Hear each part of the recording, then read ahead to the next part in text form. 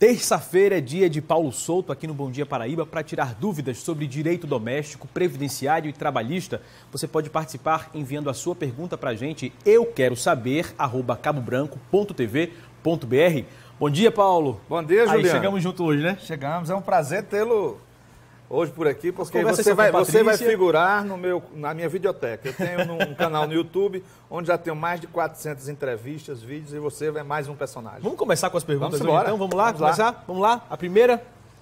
E aí, Paulo, gostaria de saber como faço para recalcular o DAI de janeiro de 2017, pois quando eu entrei no site do E-Social, esta semana a folha de janeiro não estava mais disponível. Quem fez essa pergunta para a gente foi Flávia Oliveira, daqui de João Pessoa. Juliana, a pergunta de Flávia é muito pertinente, por quê? Porque realmente no E-Social ela fica oculta, ela não desaparece. Abaixo da, por exemplo, hoje aparece a folha de fevereiro. Está lá aparecendo a folha de fevereiro, porque a de março aparece quando passa o dia do vencimento do DAI, que é hoje.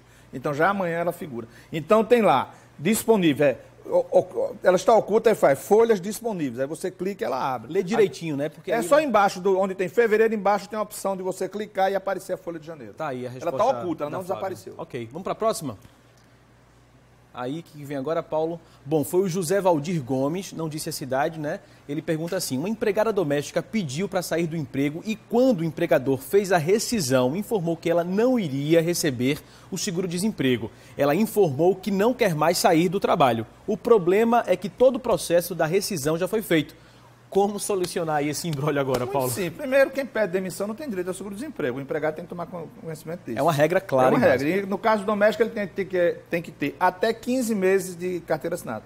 Ele pode reverter apenas o empregador. Se ele achar interessante para ele como é, cancelar a rescisão dela, ele pode fazer isso. Só ele pode. Isso vale não é um direito tipo dela, de não. trabalhador, né, Paulo? Qualquer tipo de trabalhador. Não é um direito dela de, de ela chegar, e dizer não, não quero mais ser demitido, ela não tem mais esse direito. E também ninguém pode ficar. Não, quero ser não, demitido, de hoje eu não quero mais. Isso é uma faculdade do empregador. Ok, vamos para a próxima pergunta vamos agora?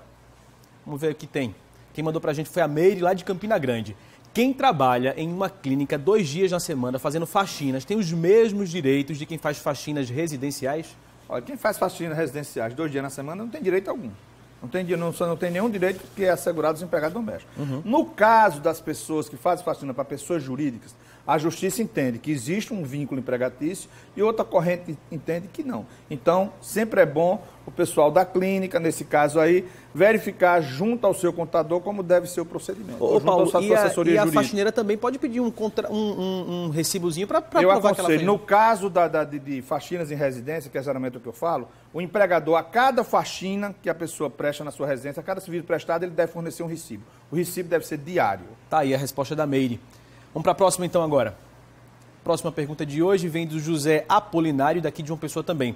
O E-Social não disponibiliza o recibo de concessão de Vale Transporte. Como devo proceder, já que concedo Vale Transporte à minha empregada doméstica?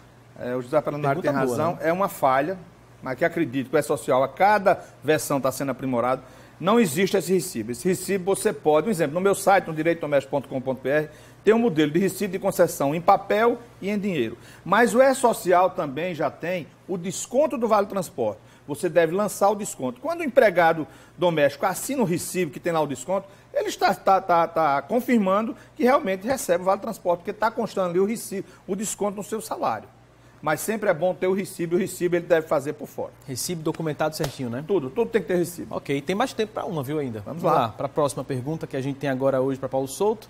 É do José Marconi, também de João Pessoa. A minha empregada faltou todo o período de carnaval e quando retornou na quinta-feira, já foi dizendo que não tinha obrigação de trabalhar porque era feriado. Diante dessa situação, Paulo, como é que ele deve proceder, hein? Complicado, né? Faltou não, o feriado inteiro. Ledo engano dela. Carnaval não é feriado. Isso aqui já foi dito, isso é dito em todo o Brasil. Isso aí não, não existe esse feriado carnaval. É uma festa popular que o empregador concede a folga ou não. A sugestão que eu dou ao empregador, primeiro, é diverti-la. Porque o empregado não pode chegar a faltar três, quatro três, dias quatro e chegar dias. não, não vim porque era feriado. Ele dá diverti-la e descontar no salário dela os dias que ela faltou. Inclusive a folga semanal, que é o repouso semanal remunerado, ele pode descontar. Ele desconta todos os dias que ela faltou, mais o domingo. Ok. Ele deve fazer isso. Tem que ficar documentado e descontado. É, ou né? senão ele abona. Ok. Fica Paulo, dele. Você volta já já, né? Pra já já nós vamos falar sobre o, as deduções de imposto de renda do empregador doméstico. Tem muita gente aí atencioso querendo saber disso também. Vamos viu? falar daqui a pouco. Até já, Paulo. Obrigado já, pela Juliana. participação, viu?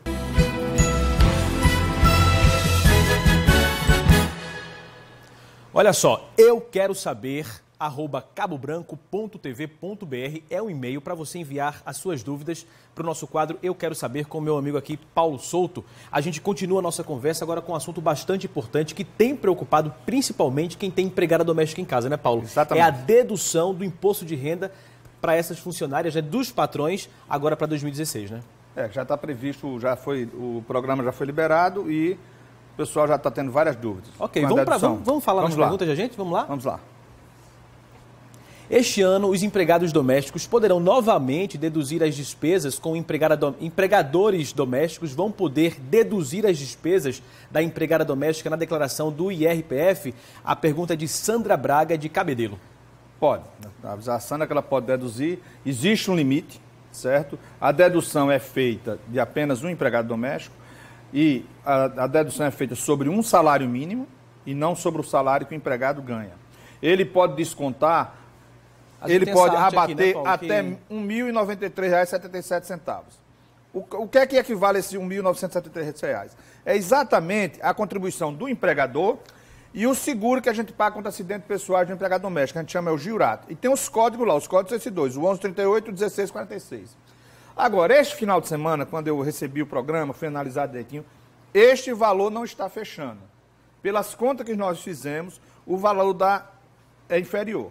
Chega, ele está maior, R$ 77,44. Isso deve a quê? É falha no programa? É... Nós encontramos uma falha no programa. Agora, até agora, a Receita Federal não se posicionou. Uhum. Mas o que consta no programa é, é essa dedução. Então, você Entendi. pode deduzir isso, mas eu acho que vai ser alterado.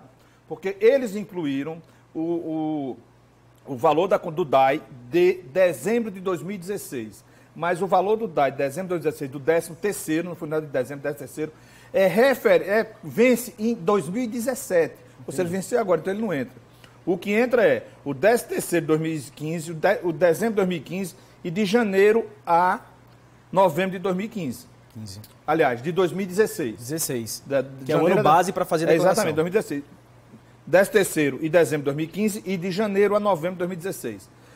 Somando tudo isso, essas duas, esses, dois, esses dois códigos, não dá esse valor inclusive também um texto de férias. E vocês esperam que a, a, é, a, Receita Federal faça essa Nós essa já comunicamos, já questionamos e eles estão analisando. Inclusive, eu já conversei com o gestor do E-Social, que eu conheço um deles, e sempre mantenho um contato com ele, entendeu? E ele também constatou, e nós não conseguimos chegar a esse valor. Que coisa, né, Paulo? Tão complicado, né? Não, mas é porque anteriormente você pagava o 13 terceiro, podia pagar o 13 terceiro, a alíquota do 13 terceiro, junto com a, com a competência de, de, de, de novembro. Então eles mantiveram isso. E depois que foi criado o DAI, não existe mais isso. Ok, vamos para a próxima pergunta vamos então? Embora. Vamos lá. A pergunta é da Socorro Pires, também de Cabedelo, e ela faz o seguinte: ela diz o seguinte: até quantos empregados domésticos eu posso deduzir as despesas na minha declaração do imposto de renda? Na pergunta anterior eu falei um empregado. Um empregado, foi. Mas se você teve seis meses um empregado e nos outros seis meses outro empregado, você pode deduzir os dois. Você vai colocar o CPF e o NIT de cada um, agora o limite tem que ser aquele. Ô Paulo, pode ou deve? Deve. Lógico, porque você deve colocar, porque você vai ter o dinheiro de volta. Aquilo é deduzido do imposto devido. Entendi. Totalmente. O que você pagou de alíquota patronal e do seguro de acidentes pessoais é todo devolvido. Entendi. Entendeu? Próximo agora? Vamos embora. Vamos lá. A nossa próxima pergunta de hoje é da Ana Cláudia Martins, do bairro Altiplano, aqui em João Pessoa. E ela diz o seguinte: Na minha residência nós temos dois empregados domésticos e eu, que assinei a carteira deles, né? Meu marido pode colocar as despesas de um deles na dedução do imposto dele, do imposto de renda dele? É, de, separadamente, um no marido e um dela? Primeiro, essa dedução só pode ser feita na declaração completa. Entendi. Certo? E pode, por quê? Porque o empregado, o empregador doméstico é a família. Entendi. Aquele que, que você, o empregado doméstico presta serviço para uma pessoa física ou para uma família. É como se a família fosse uma empresa. Exatamente. Como, todos os dois podem declarar, mesmo o, o DAI sendo nome de apenas um. De por quê? Porque o empregador doméstico está na lei, é a família. Está Entendi. no conceito da lei. Entendi. Então está aí respondida a pergunta também da Ana, Ana Cláudia. Cláudia. Tem mais pergunta, né, Paulo? Tem. Vamos lá. E agora foi o José de Ataíde, de Campina Grande, participando bastante aqui em Campina Grande do nosso quadro, a declaração de rendimentos de 2016 dos empregados domésticos, que o E-Social disponibilizou na sua última versão, pode servir de base também para a dedução das despesas do imposto de renda de Essa pessoa física? Essa pergunta é muito interessante, sabe por quê? Porque coincidiu a nova versão que saiu agora no final de fevereiro de 2017, do E-Social 1.8, com a liberação do programa. Então, muita gente está pensando que essa é a declaração de rendimentos, porque tem lá a, o valor do, do INSS pago. mas tem o valor pago do empregado, a cota do empregado, e de 2016, de janeiro a dezembro de 2016. Não deve confundir, você não deve utilizar isso aqui.